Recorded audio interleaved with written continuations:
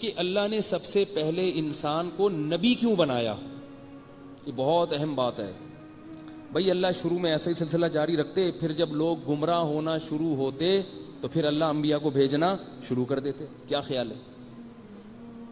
भाई, शुरू में तो ऐसा ही चलता है ना मामला। याद रखो, अगर आदम सलाम पैदा होते और नबी ना होते तो फिर आदम सलाम फॉलो किसको करते? आप कह सकते हैं डायरेक्ट अल्लाह से पूछते तो जो डायरेक्ट अल्लाह से पूछता है, उसी को तो नबी कहते हैं। नहीं आ रही बात। अल्लाह ने इस कायनात में एक दिन के लिए भी कोई ऐसा शख्स पैदा नहीं किया, जिस पर अल्लाह की हुज्जत ताम ना हो सके। तो अगर आदम सलाम नबी ना होते तो वो किसको फॉलो करते? क्योंकि अल्लाह ने दो ही किस्म की मखलूक पैदा की है।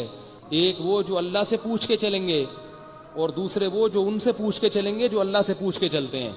उसके अलावा जितने लोग हैं, सब गुमराह हैं। अब आप में, हम में से हर शख्स और हर औरत अपने गरेबान में झांके कि हम अपनी मनमानी वाली ज़िंदगी गुजारते हैं या नबी से पूछ के चलते हैं। अल्लाह की नज़र में इस बात की इतनी अहमियत है कि तुम नबी से पूछे बगैर ज़िंदगी नहीं गुजार सकते। इसकी इतनी अहमियत है कि अल्लाह ने इस कानून की लाज रखने के लिए, इस कानून का पास रखने के लिए, इस कायनात में पहले इंसान को नबी बना दिया। ताकि उसकी औलाद में जितने लोग होंगे, वो उस नबी को फॉलो करेंगे। बात आ रही है समझ में कि नहीं आ रही?